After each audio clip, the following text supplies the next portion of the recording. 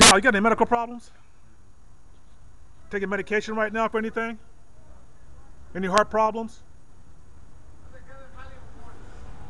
Hollywood Bowl? So no medical problems right now, right, Cal? Right here. Oh, okay. On the left about. You know why you were arrested? Three or four blocks up. Huh? I'm asking. Do you know why you were arrested? Why am I arrested, sir? I don't know. I'm asking you. Do you know why?